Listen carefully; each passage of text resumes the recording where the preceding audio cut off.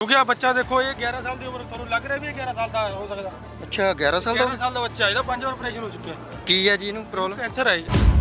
2019 ਤੋਂ ਇਹਦਾ ਦੇਖੋ 2000 ਰਿਪੋਰਟ ਪਈ ਆ। ਕੈਂਸਰ ਦੀ ਰਿਪੋਰਟ ਆ ਇਹ। ਗ੍ਰੇਡ 4 ਦਾ ਕੈਂਸਰ ਹੈ ਇਹਨੂੰ। ਤੇ ਪੰਜ ਵਾਰੀ ਦਾ ਆਪਰੇਸ਼ਨ ਹੋ ਚੁੱਕਿਆ। ਇੱਧਰ ਪੈ ਪਈ ਵੀ ਇਹਦੇ ਸਿਰ ਚ ਇੱਥੋਂ ਢਿੱਡ ਤੱਕ। ਓਹੋ। ਇਹ ਮਤਲਬ ਫਰਵਰੀ 'ਚ 28 29 ਫਰਵਰੀ ਦਾ ਆਪਰੇਸ਼ਨ ਦੁਬਾਰਾ ਹੋ ਚੁੱਕਿਆ ਹੁਣ ਫੇਰ 22 ਚ ਹੀ। 2019 ਤੋਂ ਲੈ ਕੇ ਹੁਣ ਤੱਕ ਇਹਦੇ 4 ਵਾਰੀ 5 ਵਾਰੀ ਆਪਰੇਸ਼ਨ ਹੋ ਚੁੱਕਿਆ। ਕੀ ਨਾਮ ਹੈ? ਹਰਪ੍ਰੀਤ ਸਿੰਘ। ਹਰਪ੍ਰੀਤ ਸਿੰਘ। ਹਰਪ੍ਰੀਤ ਦੇ ਸੁਪਨੇ ਕੀ ਹੈ? ਕੀ ਬਣਨਾ ਚਾਹੁੰਦਾ? ਹੈ? ਡਾਕਟਰ। ਡਾਕਟਰ? ਅੱਛਾ ਸੇਵਾ ਕਰਨੀ ਫਿਰ ਲੋਕਾਂ ਦੀ? ਪਤੀ ਕਿੱਥੇ ਕੰਮ ਕਰਦੇ ਸੀਗੇ ਜੀ? ਇਹ ਬੁੱਝੇ ਵਿੱਚ ਕਰਦੇ ਜੇ ਗੱਡੀ ਚਲਾਉਂਦੇ ਪ੍ਰਾਈਵੇਟ ਅੱਛਾ ਜੀ। ਹਾਂਜੀ ਇਹਨਾਂ ਦੀ ਮੌਤ ਕੈਂਸਰ ਨਾਲ ਹੋ ਗਈ। ਕੈਂਸਰ ਕਿਵੇਂ ਹੋਇਆ? ਡਾਕ- ਉਰੇ ਆਪਣਾ ਸਵਾਹ ਨਾਲ ਹੋਇਆ ਜੀ। ਮੇਰੇ 7 ਸਾਲ ਦਾ ਬੱਚਾ ਹੈ ਜੀ ਮੇਰਾ। ਤੇ 2019 ਦੇ ਵਿੱਚ ਉਹਨੂੰ ਇੱਕਦਮ ਸਾਡੇ ਤੇ ਰੱਬ ਦਾ ਪਹਾੜ ਡਿੱਗਿਆ ਤੇ ਇਹੀ ਹਾਲਾਤ ਜਿਹੜੇ ਅੱਜ ਅੰਬੂਜਾ ਜੀ ਦਾ ਵਿਸਥਾਰ ਕਰਨ ਦਾ ਸੋਚ ਰਹੀ ਹੈ, ਅੱਜ ਅੰਬੂਜਾ ਜੀ ਨੂੰ ਐਕਸਪੈਂਡ ਕਰਨ ਲਈ ਸੋਚ ਰਹੀ ਹੈ, ਉਸੇ ਐਕਸਪੈਂਡ ਨੇ, ਉਸੇ ਐਕਸਪੈਂਡ ਦੇ ਆਲਰੇਡੀ ਅਸੀਂ ਨਤੀਜੇ ਭੁਗਤ ਚੁੱਕੇ ਹਾਂ ਜੀ। ਜਿਹੜਾ ਇਹ ਜੈਨ ਅੱਜ ਇਸ ਦਾ ਵਾਅਦਾ ਕਰਨ ਦੀ ਪਲੈਨਿੰਗਾਂ ਕਰ ਰਿਹਾ ਨਾ ਜੀ, ਜੇ ਉਹ ਮੇਰੀ ਜਗ੍ਹਾ ਤੇ ਹੁੰਦਾ, ਤਾਂ ਕਿਆ ਫੇਰ ਵੀ ਉਹ ਇਸ ਵਾਅਦੇ ਨੂੰ ਐਗਰੀ ਕਰਦਾ? ਇਹ ਬੱਚੇ ਦੇ ਹਾਲਾਤ ਦੇਖੋ, ਇਹ ਬੱਚੇ, ਇਹ ਇਹ ਹਜੇ ਇਹਦੀ ਕੰਡੀਸ਼ਨ ਹੋਰ ਵੀ ਵਿਗੜਨ ਦੀ ਸੰਭਾਵਨਾ ਹੈ।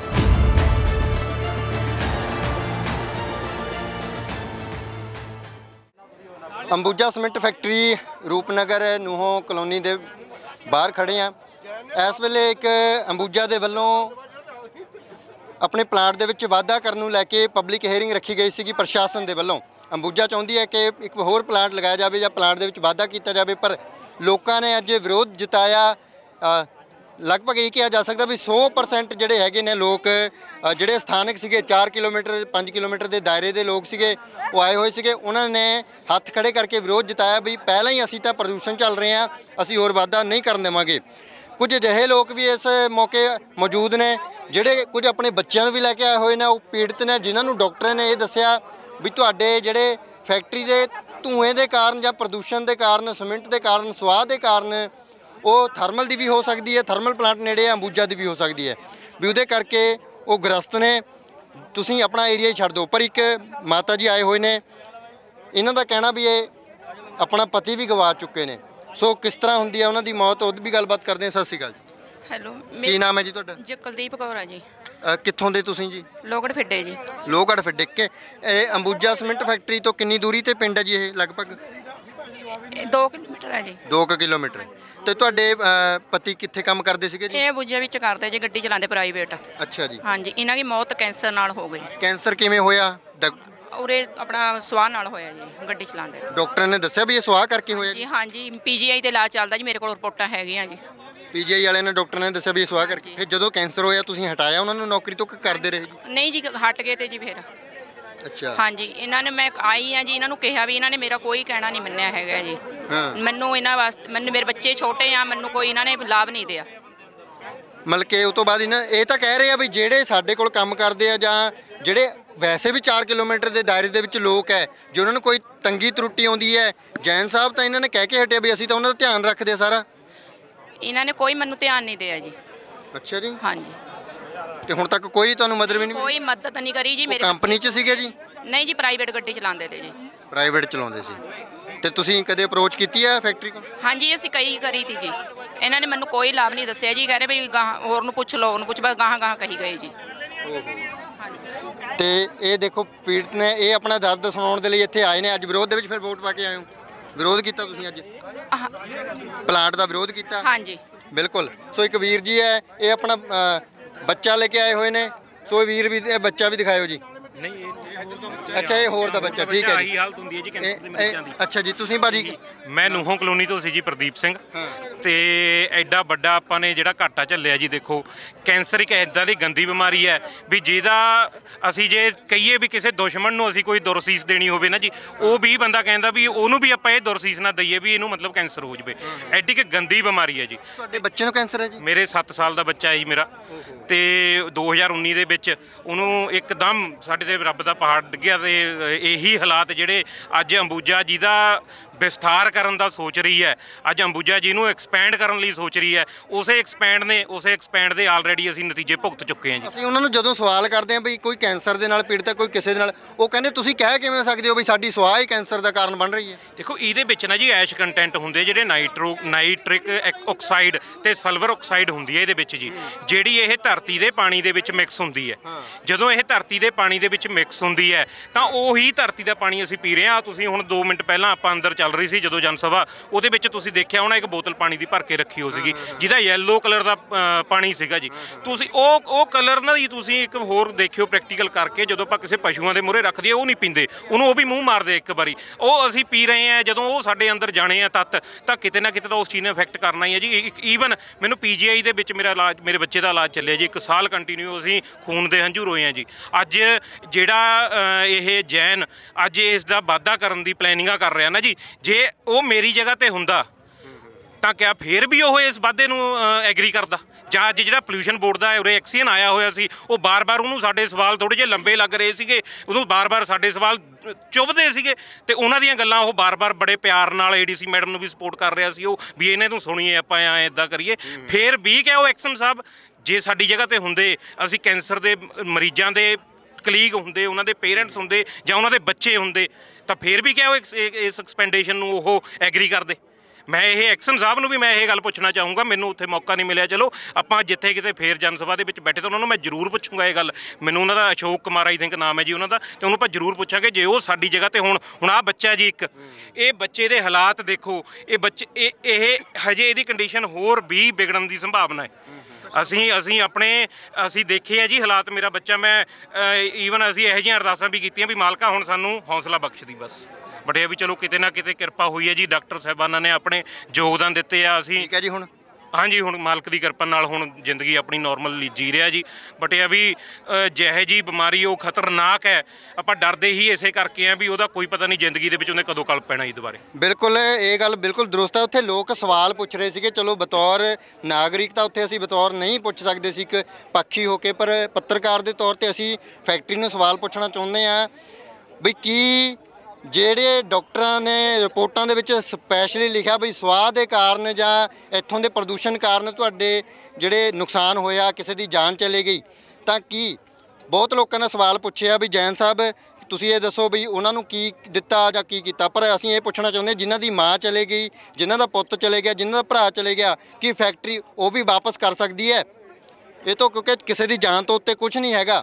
ਪਰ ਇਹ ਲਗਾਤਾਰ ਬਲੇਮ ਜਿਹੜੇ ਹੈਗੇ ਆ ਲੋਕਾਂ ਦੇ ਵੱਲੋਂ ਲਗਾਏ ਜਾ ਰਹੇ ਵੀ ਫੈਕਟਰੀ ਜਿਹੜੀ ਹੈਗੀ ਆ ਬਹੁਤ ਨੁਕਸਾਨ ਕਰ ਰਹੀ ਹੈ ਸਿਹਤ ਦਾ ਸਿਹਤ ਤੋਂ ਜ- ਉੱਪਰ ਕੁਝ ਨਹੀਂ ਹੁੰਦਾ। ਬਾਈ ਜੀ ਤੁਹਾਡਾ ਬੇਟਾ? ਹਾਂਜੀ। ਕੀ ਨਾਮ ਤੁਹਾਡਾ? ਹਰਜੀਤ ਸਿੰਘ। ਕਿੱਥੇ ਰਹਿੰਦੇ ਹੋ? ਦਬੁਰਜੀ ਪਿੰਡ ਹੈ ਜੀ ਮੇਰਾ। ਦਬੂਰ ਜੀ ਤਾਂ ਬਿਲਕੁਲ ਨਾਲ ਹੀ ਆ 100 ਮੀਟਰ ਦੇ ਦਾਇਰੇ 'ਚ। ਹਾਂਜੀ ਹਾਂਜੀ। ਤੇ ਫਿਰ ਤੁਹਾਡੇ ਸਰਪੰਚ ਸਾਹਿਬ ਪੰਚਾਇਤਾਂ ਕੀ ਕਰਦੀਆਂ? ਪੰਚਾਇਤਾਂ ਨੇ ਕੀ ਕਰਨਾ ਜੀ ਬਸ ਤੁ ਦੇਖ ਰਹੀ ਹੈ ਤੁਸੀਂ ਕਿੰਨਾ ਰੌਲਾ ਪੈ ਰਿਹਾ ਇੱਧਰ। ਹਾਂ। ਸਰਪੰਚ ਵੇਖ ਗਿਆ ਜੀ। ਸਰਪੰਚ ਵੇਖ ਰਹੇ ਸਾਡੇ ਸਾਰਾ ਕੰਮ ਤੋਂ ਦਿਖ ਰਿਹਾ ਤੁਹਾਨੂੰ ਸਾਰਾ ਕੁਝ ਇੱਥੇ ਇੰਨਾ ਇਹਨਾਂ ਨੂੰ ਲਾਣ ਤਾਂ ਪਾਉਣ ਨਾਲੋਂ ਫਿਰ ਸਾਡੇ ਤਾਂ ਸਾਡੇ ਆਪਣੇ ਗਦਾਰ ਹੋਏ ਨਾ। ਹਾਂਜੀ ਹਾਂਜੀ। ਬਾਅਦ ਦੇ ਵਿੱਚ ਦੂਜਿਆਂ ਨੂੰ ਦਈਏ ਨਾ ਦੋਸ਼। ਆਪਣੇ ਤਾਂ ਗਦਾਰ ਹੋਈ ਹੈ ਜੀ। ਹਾਂ। ਪਰ ਇਹ ਆ ਵੀ ਜਿਹੜਾ ਇਹ ਵਾਧਾ ਇਹ ਰੁਕਣਾ ਚਾਹੀਦਾ। ਕਿਉਂਕਿ ਆ ਬੱਚਾ ਦੇਖੋ ਇਹ 11 ਸਾਲ ਦੀ ਉਮਰ ਤੁਹਾਨੂੰ ਲੱਗ ਰਿਹਾ ਵੀ ਇਹ 11 ਸਾਲ ਦਾ ਹੋ ਸਕਦਾ? ਅੱਛਾ 11 ਸਾਲ ਦਾ? 11 ਸਾਲ ਦਾ ਬੱਚਾ ਇਹਦਾ ਪੰਜ ਵਾਰ ਆਪਰੇਸ਼ਨ ਹੋ ਚੁੱਕਿਆ। ਕੀ ਹੈ ਜੀ ਇਹਨੂੰ ਪ੍ਰੋਬਲਮ ਕੈਂਸਰ ਹੈ ਜੀ। ਆਜ ਦੀ ਰਿਪੋਰਟ ਪਈ ਆ। ਓਹੋ। ਆ ਦੇਖੋ ਆਜ ਦੀ ਰਿਪੋਰਟ ਆ। ਇਹਦਾ ਡਾਕਟਰ ਕੀ ਕਹਿੰਦੇ ਆ ਵੀ ਕਿਉਂ ਹੋਇਆ ਕੈਂਸਰ ਜੀ? ਕੈਂਸਰ ਡਾਕਟਰ ਨੇ ਤਾਂ ਕੁਝ ਨਹੀਂ ਦੱਸਿਆ ਸਾਨੂੰ। ਕਹਿੰਦੇ ਵੀ ਇਹ ਹੋ ਸਕਦਾ ਪੌਣ ਪਾਣ ਕਰਕੇ ਹੀ ਹੋਇਆ। ਤੁਹਾਡੇ ਇਧਰ ਜਿਹੜਾ ਪ੍ਰਦੂਸ਼ਣ ਆ ਉਹਦੇ ਕਰਕੇ। ਡਾਕਟਰਾਂ ਨੇ ਤਾਂ ਬਿਲਕੁਲ 100 200 ਮੀਟਰ ਦੇ ਦਾਇਰੇ 'ਚ। ਅਸੀਂ ਤਾਂ ਬਿਲਕੁਲ ਨੇੜੇ ਹੀ ਹਾਂ ਸਾਡਾ ਪਿੰਡ ਹੀ ਬਿਲਕੁਲ ਨੇੜੇ ਪਿੰਡ। ਤੇ ਫਿਰ ਫਿਰ ਚਲੋ ਇਹ ਮੰਨਦੇ ਆ ਆਪਾਂ ਵੀ ਇਹਨੂੰ ਕੈਂਸਰ ਹੋ ਗਿਆ। ਤੁਸੀਂ ਕਹਿੰਦੇ ਹੋ ਵੀ ਇਹ ਪ੍ਰਦੂਸ਼ਣ ਕਰਕੇ ਹੋਇਆ। ਇਹ ਕਹਿੰਦੇ ਆ ਵੀ ਜਿਹੜੇ ਨਾਲ ਨਾਲ ਲੋਕਾਂ ਨੂੰ ਕੋਈ ਤਕਲੀਫ ਆ ਰਹੀ ਆ 100 200 ਮੀਟਰ ਦੇ ਦਾਇਰੇ 'ਚ ਜਾਂ ਇੱਕ 2 2 4 ਕਿਲੋਮੀਟਰ 'ਚ ਉਹਨਾਂ ਲਈ ਇਹ ਬਹੁਤ ਕੁਝ ਕਰ ਰਹੀ ਹੈ ਇਹਨਾਂ ਦੀ ਸੰਸਥਾ। ਕਿੰਨੀ ਵਾਰ ਪੈਸੇ ਮਿਲ ਗਏ ਇਹਦੇ ਤੁਹਾਨੂੰ? ਵਿੱਚ ਸਾਨੂੰ ਕੁਝ ਨਹੀਂ ਜੀ ਮਿਲਿਆ ਹੈਗਾ। ਇਲਾਜ ਲਈ। ਇਹਦੇ ਵਿੱਚ ਸਾਨੂੰ ਕੁਝ ਨਹੀਂ ਮਿਲਿਆ ਹੈਗਾ। ਇਹ 2019 ਤੋਂ ਇਹਦਾ ਦੇਖੋ 2000 ਰਿਪੋਰਟ ਪਈ ਆ। ਕੈਂਸਰ ਦੀ ਰਿਪੋਰਟ ਆ ਇਹ। ਗ੍ਰੇਡ 4 ਦਾ ਕੈਂਸਰ ਹੈ ਇਹਨੂੰ। ਤੇ ਪੰਜ ਵਾਰੀ ਦਾ ਆਪਰੇਸ਼ਨ ਹੋ ਚੁੱਕਿਆ। ਇੱਧਰ ਪੈ ਪਈ ਵੀ ਇਹਦੇ ਸਿਰ 'ਚ ਇੱਥੋਂ। ਢਿੱਡ ਤੱਕ। ਓਹੋ। ਇਹ ਮਤਲਬ ਫਰਵਰੀ 'ਚ 28 29 ਫਰਵਰੀ ਦਾ ਆਪਰੇਸ਼ਨ ਦੁਬਾਰਾ ਹੋ ਚੁੱਕਿਆ ਹੁਣ ਫੇਰ 22 'ਚ ਹੀ। 2019 ਤੋਂ ਲੈ ਕੇ ਹੁਣ ਤੱਕ ਇਹਦੇ 4 ਵਾਰੀ 5 ਵਾਰੀ ਆਪਰੇਸ਼ਨ ਹੋ ਚੁੱਕਿਆ। ਤੇ ਫਿਰ ਤੁਸੀਂ ਇਹ ਮੰਨਦੇ ਹੋ ਜਿਹੜੇ ਲੋਕ ਇਹ ਕਹੀ ਜਾਂਦੇ ਆ ਵੀ ਪਹਿਲ ਦੇ ਆਧਾਰ ਤੇ ਸਾਨੂੰ ਨੌਕਰੀ ਦਿੱਤੀ ਜਾਵੇ। ਕਈ ਵਾਰ ਇਹ ਹੁੰਦਾ ਬਾਈ ਜੀ ਸਾਨੂੰ ਫੋਨ ਕਰਦੇ ਵੀ ਬਾਈ ਜੀ ਮੇਰੀ ਨਾ ਸਰਕਾਰੀ ਨੌਕਰੀ ਸੀਗੀ ਮੈਨੂੰ 70 80 ਹਜ਼ਾਰ ਤਨਖਾਹ ਮਿਲਦੀ ਸੀ ਮੈਂ ਰਿਟਾਇਰ ਹੋਣ ਤੋਂ ਬਾਅਦ ਇਹੀ ਜੀ ਬਿਮਾਰੀ 'ਚ ਮੇਰਾ ਬੇਟਾ ਘਿਰ ਗਿਆ ਮੇਰਾ ਸਾਰਾ ਹੀ ਪੈਸਾ ਲੱਗ ਗਿਆ। ਮੇਰੀ ਪੈਨਸ਼ਨ ਆਉਂਦੀ ਹੈ ਮਾੜੀ ਮੋਟੀ, ਉਹ ਵੀ ਲੱਗੀ ਜਾਂਦਾ ਮਹੀਨੇ ਦਾ।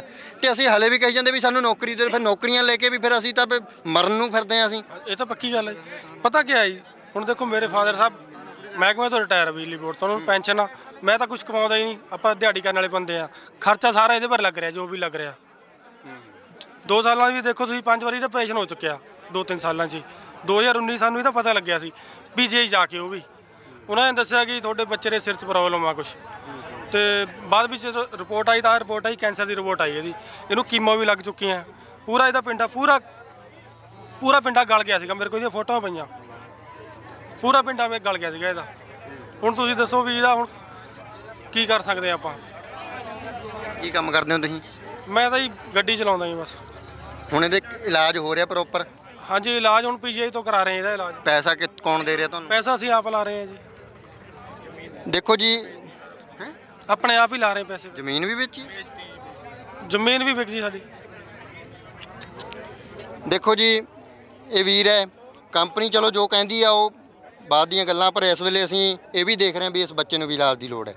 ਜਿੱਥੇ ਮੈਂ ਕੰਪਨੀ ਬਾਰੇ ਗੱਲਬਾਤ ਅਸੀਂ ਕਰ ਰਹੇ ਹਾਂ ਇਸ ਫੈਕਟਰੀ ਬਾਰੇ ਉੱਥੇ ਹੁਣ ਮੈਂ ਦਾਨੀ ਸੱਜਣਾ ਨੂੰ ਜ਼ਰੂਰ ਕਹਾਂਗਾ ਵੀ ਇਸ ਬੱਚੇ ਦੇ ਲਈ ਵੀ ਮਦਦ ਕੀਤੀ ਜਾਵੇ। ਵੀ ਉਹ ਡਰਾਈਵਰ ਹੈ ਇੰਨਾ ਨਹੀਂ ਹੁੰਦਾ ਵੀ ਇਕੱਲਾ ਕਰ ਸਕੇ। ਭਾਜੀ ਨੰਬਰ ਕਿੰਨਾ ਤੁਹਾਡਾ? 98725 79267 ਦੁਬਾਰਾ ਬੋਲ ਦਿਓ 9872579267 ਸੋ ਬਿਲਕੁਲ ਬਾਈ ਜੀ ਹੋਰਾਂ ਦੇ ਨਾਲ ਫੋਨ ਤੇ ਸੰਪਰਕ ਕਰਕੇ ਜਿਹੜਾ ਵੀ ਵੀਰ ਇਸ ਬੱਚੇ ਦਾ ਇਲਾਜ ਕਰਵਾਉਣਾ ਚਾਹੁੰਦਾ ਕੋਈ ਨਵੀਂ ਜ਼ਿੰਦਗੀ ਮਿਲ ਜੇ ਇਸ ਬੱਚੇ ਨੂੰ ਤੇ ਫਿਰ ਇਹ ਵੀ ਫਿਰ ਅੱਗੇ ਸਮਾਜ ਭਲਾਈ ਦੇ ਕੰਮ ਕਰੇਗਾ ਪੁੱਤ ਕਰੂਗਾ ਕੰਮ ਜੇ ਬੱਚ- ਹਨਾ ਪਰਮਾਤਮਾ ਕਿਰਪਾ ਕਰਦਾ ਏ ਤੁਸੀਂ ਤੁਹਾਨੂੰ ਕੋਈ ਮਦਦ ਕਰਦਾ ਤੁਸੀਂ ਅੱਗੇ ਕੰਮ ਕਰੋਗੇ ਸਮਾਜ ਦੀ ਭਲਾਈ ਲਈ ਹਾਂਜੀ ਆ ਦੇਖੋ ਜੀਣਾ ਚਾਹੁੰਦਾ ਮੇਰਾ ਪੁੱਤ ਹਾਂਜੀ ਕਿੰਨੀ ਕੁ ਤਕਲੀਫ ਹੁੰਦੀ ਹੈ? ਬਹੁਤ ਜ਼ਿਆਦਾ। ਹੂੰ? 11 ਸਾਲ ਉਮਰ ਹੋ ਗਈ ਕਿੰਨੀ ਕੀ ਨਾਮ ਹੈ? ਹਰਪ੍ਰੀਤ ਸਿੰਘ। ਹਰਪ੍ਰੀਤ ਸਿੰਘ। ਹਰਪ੍ਰੀਤ ਦੇ ਸੁਪਨੇ ਕੀ ਹੈ? ਕੀ ਬਣਨਾ ਚਾਹੁੰਦਾ? ਡਾਕਟਰ। ਡਾਕਟਰ? ਅੱਛਾ ਸੇਵਾ ਕਰਨੀ ਫਿਰ ਲੋਕਾਂ ਦੀ? ਹਾਂਜੀ। ਸੋ ਇਹ ਹਰਪ੍ਰੀਤ ਸਿੰਘ ਹੈ ਇਹਨੂੰ ਹਰਪ੍ਰੀਤ ਸਿੰਘ ਨੂੰ ਡਾਕਟਰ ਹਰਪ੍ਰੀਤ ਸਿੰਘ ਬਣਾਉਣਾ ਆਪਾਂ ਨੇ ਬਾਈ। ਇਹ ਜ਼ਿੰਮੇਵਾਰੀ ਹੁਣ ਸਾਡੀ ਵੀ ਹੈ। ਸੋ ਜਿੰਨਾ ਵੀ ਕਰ ਸਕਦੇ ਹੋਏ ਤਾਂ ਜ਼ਰੂਰ ਕਰਿਓ।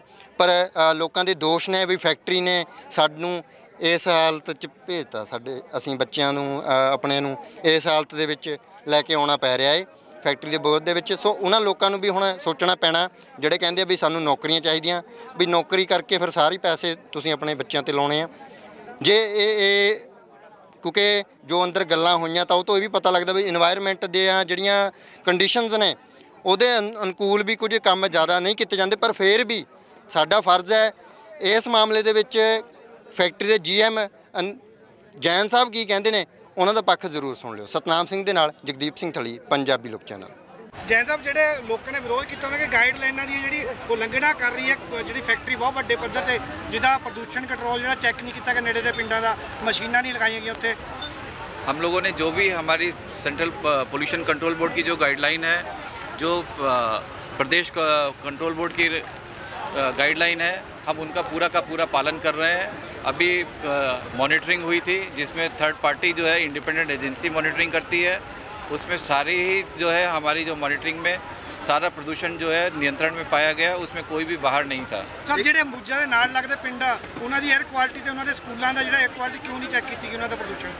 ये जो ये मैंने पहले ही कहा कि जो भी प्रदूषण की ये गाइडलाइन है उसमें आठ जगह में जो है लगाना होता है हर डायरेक्शन में लगाना होता है।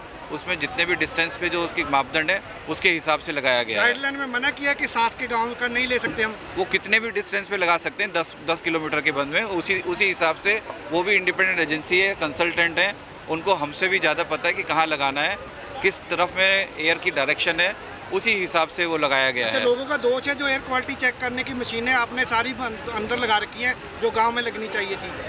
वो अभी अभी लोगों ने हाँ उसके लिए भी मैं आपको बताऊँ ये जो है एनजीटी ने जो है ये अप्रूव किया जो प्रदेश पोल्यूशन कंट्रोल बोर्ड है उसके हिसाब से ही ये मशीनें लगी हुई हैं। उनका अप्रूव्ड लोकेशन पे उन्होंने हमको बताया कि ये लोकेशन पे लगाना है और वो वही अप्रूव्ड लोकेशन पे हम लोगों ने लगाया है और उसी को जो है एनजीटी में भी सबमिट किया गया है। तो आज लोगों ने ज़्यादातर विरोध किया अभी क्या करेंगे आप?